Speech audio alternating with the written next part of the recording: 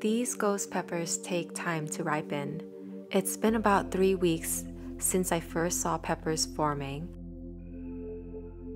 And now the plant is covered in green ghost peppers of all sizes. Today, we get the first sign of one ghost pepper starting to turn red.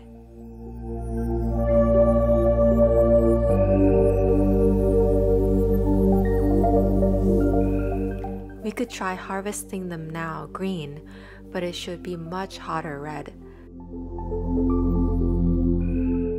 So I'm going to be patient and wait some more.